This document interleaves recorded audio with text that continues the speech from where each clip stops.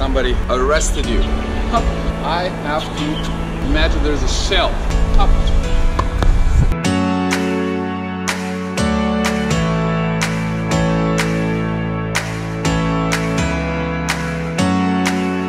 Hi everyone, my name is Milan Krnjetin from Serbia. I'm founder of TENFITMEN and I'm a professional tennis player and coach. What's up guys? Welcome back to another TENFITMEN video. Today I'm gonna share with you 5 golden tips for your forehand volley. Let's go.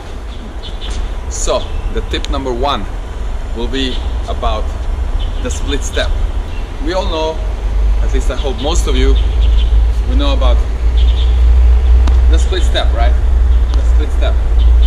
So this is not what I'm going to talk about. Of course, I'm going to mention it. It's important. This kind of big split step with two feet up. Regardless of the situation, if you're coming to the net, right, up, or if you're already at the net, bam.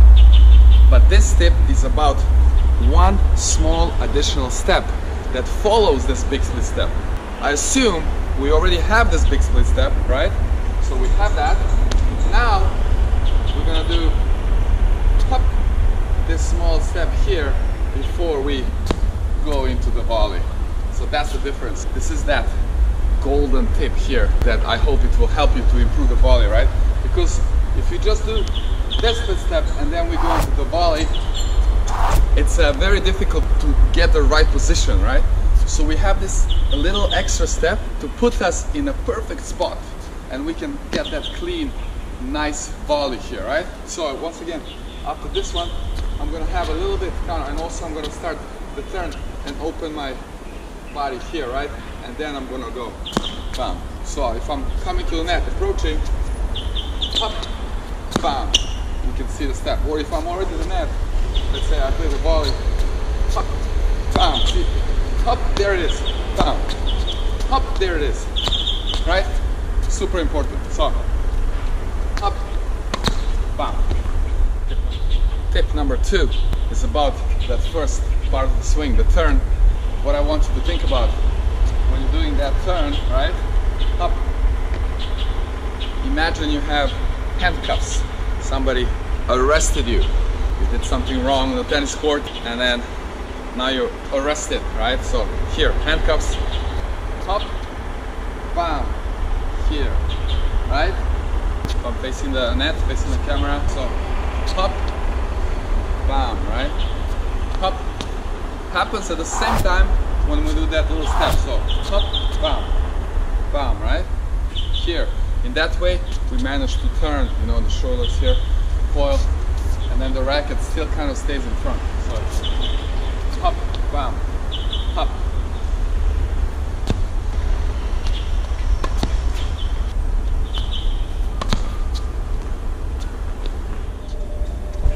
Tip number three, the non-dominant arm. In my case, the left arm. The function of it, we already mentioned the turn, so we're gonna keep it close. And now, here is the important part, right? How we go out from here from here, I kind of want to go out with this one, right? Before I go, so kind of pop and bring it in, right? It's kind of similar as the forehand, right? Remember this one? The function is to get the coil, but also out and initiate the turn. Similar on the volley, pop here, and then pop first, and then kind of bring it together. Pop, bam, right? Top, bam. Tip four, how we should think about the contact point. And uh, I like this term. It completely changed the way I think about the volleys. And I learned it at university where our head coach always insisted to play the volleys. And on this occasion I say hi to him. Hi Eric, his name is Eric Shore.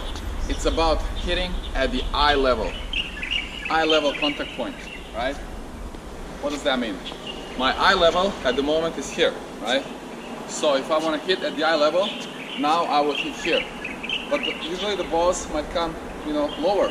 So what does that mean? I have to get to that level, so my eyes are at similar level. Of course, if the ball is super low, I won't maybe be able to go so low, but this is in general what you want to try to accomplish, right? And not this kind of eye level, but more with the legs, you know, having that wide base.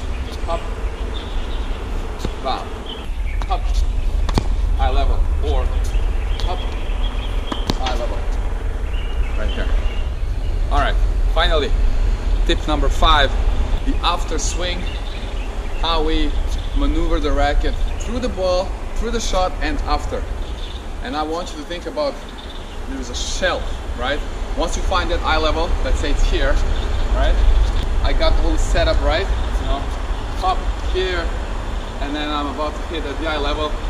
So I'm here, imagine there's a shelf, and you just kind of swipe across the shelf. So swipe across the shelf, very important. So a lot of times the mistake is bam, right? Or stopping.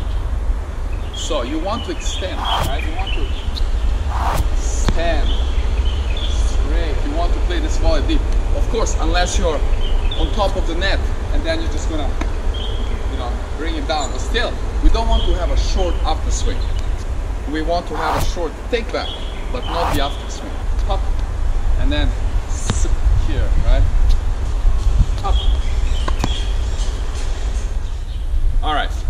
Now I'm gonna give you the bonus tip for today, and this is gonna be about general use of body when you play the forehand volley and the backhand volley, but we talk about the forehand today.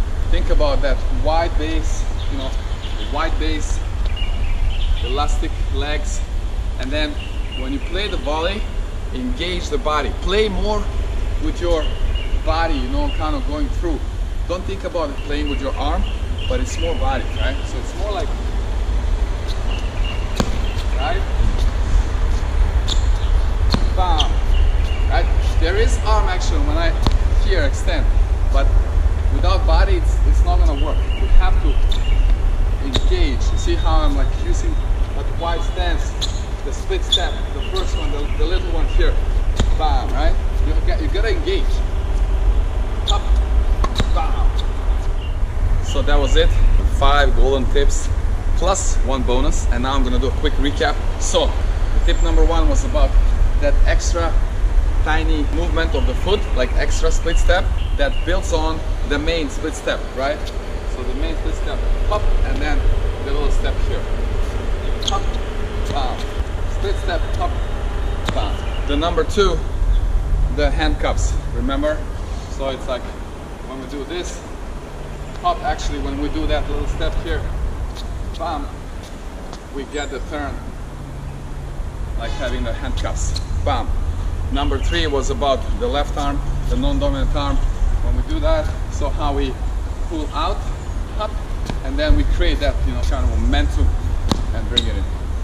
Number four, eye level contact point. So if it's here, I can go here. If it's low, bam. Number five was that bookshelf, you know, swiping across straight and extending that swing through. Good follow through. And the bonus tip was about, you know, the wide stance, elastic legs, wide base, and using the full body when you play.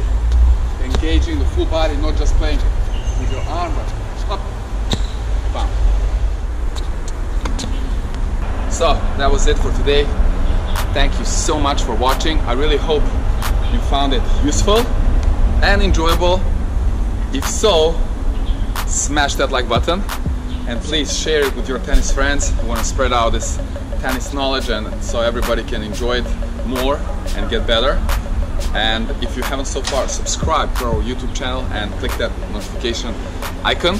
Please check out our all the other social media platforms, all the links below in the description. You can check out our podcast. We have some interesting episodes on mentality and you know approach when you have some matches and difficulties on court. That's it. Thank you again so much. Go out there and hit some amazing forehand volleys. Have fun and I'll see you soon in our next video.